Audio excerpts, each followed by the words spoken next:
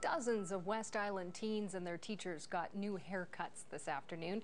They shaved their heads for cancer at Collège Charlemagne in Pierrefonds. Morgan Dunlop was there. For high school girls, hair means a lot. No one will understand how important hair is on girls' hair. It's like it defines you. So for them to be losing that is is amazing. Today, 11 girls at Collège Charlemagne lined up to chop theirs off. Jennifer Hobesha is one of them. I'm gonna feel proud of myself because it's the first time I'm doing something like I wanted to do, and like something like makes me feel good about myself. Jennifer knew exactly what she wanted to do, but her parents took some convincing.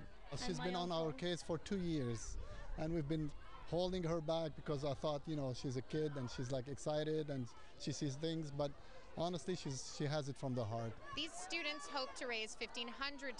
Instead, they raised more than $10,000. And the money is going to Leucan, a nonprofit organization that benefits children with cancer. And the disease hits close to home. My grandma died, passed away from cancer almost exactly a year ago. So I'm doing this to honor her. My aunt died from cancer last year, and I've and it, it, it, like it like I made it made me like think like I should do something for her because I wasn't there next to her when she died. For many, today means more than just raising money. Tears were shed as heads were shaved. I think it's not because I shaved my hair. I think it, they're proud of me in a sense, and they're proud that I actually dared to do it.